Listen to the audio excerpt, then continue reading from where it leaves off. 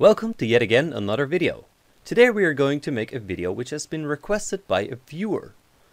Crit chance versus crit damage. To start off, you need to know that crit chance has a cap, which is 60%. Crit damage does not have a cap. I'm not going to show you a perfect balance of crit chance versus crit damage, since this is very situational.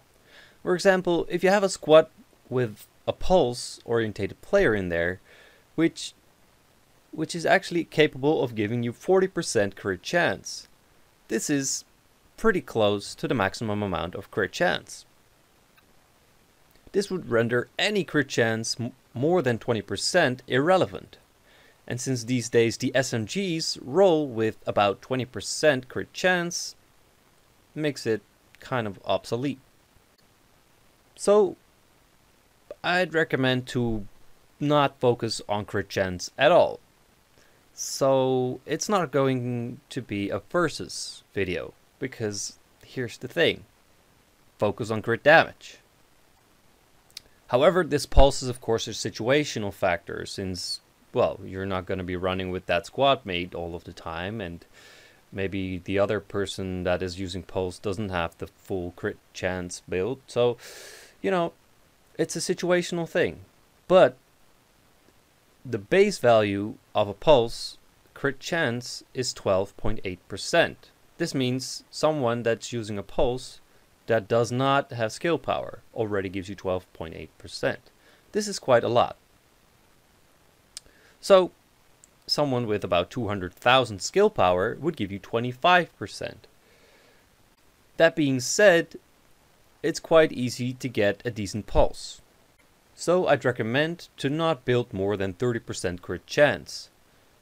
And if you're really deciding to play by yourself, then of course make a separate build for that. Because if you stack 60% crit chance and then you run in a squad where there's a good pulse, then you're just wasting a lot of your stats. It is very important that you do not exceed the 60% crit chance, because it's just a waste. It's just a terrible waste and don't do it. Crit damage, however, is not limited. Well, it's limited by how much you can get. So let's take a look at where you can get crit damage. You can find 15% on the weapon talent Deadly. And then there's a bunch to obtain through weapon mods. For every slot there is a good option. For the scope, the best crit damage comes from the ProRed dot sight. And for the big slots, you can use the C79 scope. They both give up to 20.5% crit damage. On the grip, you can choose between either the short or the small grip, which also give you 20.5%. On the magazine, there's not really a pick that can give you this amount. However, all of them can give you up to 4%. So I'd recommend to go with the extended magazine, since this has just always been the best pick. For the muzzle, there's a bunch of options. On the small slot, you can fit the loud vent brake, and on the large, you can fit either the large suppressor or the SR7 suppressor. These all give up to 20.5% crit damage. Now, if you fit all of these, you can actually get up to 10.5% crit chance along with it. However, don't bother I'm just saying this could happen on like a second roll on, on these pieces. So if you'd add all this up, you'd be able to get about 90% crit damage and about 30% crit chance, assuming you've picked an SMG, which gives you about 20% crit chance as well. This is only the weapon. Now let's look at the gear. For gear, there's not really a gear set bonus that you want for crit, so you, I'd recommend going for high-end pieces, so the yellow pieces because there are some decent gear talents that can give you some crit chance and damage.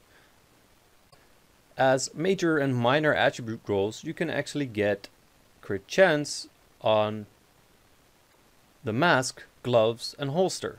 However, on the gloves, you are very likely to choose between chance and damage, since there's a few good rolls on the gloves. I definitely recommend damage. The mask and holster both can give you up to 4% crit chance, but then again, if you can get something else, I'd recommend getting something else. For crit damage, you can roll some on the backpack, gloves and on the knee pads. With perfect rolls, this can get you about 35% crit damage. Adding this to your already acquired 90% crit damage adds up to 125%. Now that we've looked at the gear, the weapons and the mods, these are the numbers that roll out. About 40% crit chance and 125% crit damage. This is without a pulse. Now you see, you got 40% without prioritizing on crit chance. So, don't bother too much. You don't really need it. Anyone with about 200,000 skill power is going to make you cap. So, don't bother. The conclusion of these numbers are that you wouldn't really want to exceed the 30% crit chance at all. The amount of variables that can make you go over the 60% are just too big. So prioritize crit damage over crit chance. Maybe even just ignore crit chance overall. For those of you interested, I'm going to list some talents that benefit off crit, or give you some more crit chance. Adept actually gives you more crit chance when using a skill, so if you are the one using the pulse, this is not a bad pick. Since then, you can just ignore crit chance after this. Then there's Decisive, which makes killing a target guarantee the next hit to be a crit. Then, then there is Fierce, which just increases crit chance a little bit by 5%. Then there's Hurried, which actually reduces your reload speed by 10% for every crit. This goes down all the way to 1 second. So any weapon that has more than 1 second reload time benefits from this. However, if you're if you're on 1.6 and you just reduce it to 1, it's not such a big deal. Then there is proficient, which makes the first shot out of combat have a 50% bonus crit. Note that this can actually exceed the 60% cap. This is most effective for the one-shot sniper builds that didn't necessarily build much crit yet. Then there is Self-Preserved, which is really interesting for the D3 FNC crit builds, since you heal 3% of the damage dealt by every crit. This is really good for self-sustaining, hence the name Self-Preserved. And then there is Vicious, which increases the crit chance when you have more than 2 segments of health by 10%. And we have Trained, which decreases the signature skill cooldown by 0.1% every time you crit, which is not great. It's just not great at all. Also, a worthy mention is that crit damage is more effective when you have a higher base damage. If you combine this with headshot damage as well, you can increase the multipliers drastically. Your damage output increases so much when you combine these that it's not worth tunnel visioning too much just on crit damage and chance. I hope this video has been helpful for those of you looking to get a decent crit build going. If you are wondering how firearms works, you can check that out in one of our other videos. also, we have been working on new content, such as Overwatch and the upcoming Lord of the Rings game, Shadow of War. If you're interested, feel free to stick around. A rating would be very much appreciated, and if you have any questions, drop those in the comment section down below and we or other viewers are, uh, will be very likely to help you out. And good luck farming agents, and I hope to see you guys.